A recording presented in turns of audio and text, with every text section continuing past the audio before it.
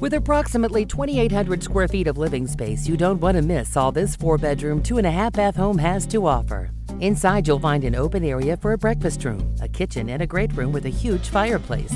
The master bedroom offers a vaulted ceiling as well as a very nice master bath with separate tub and shower.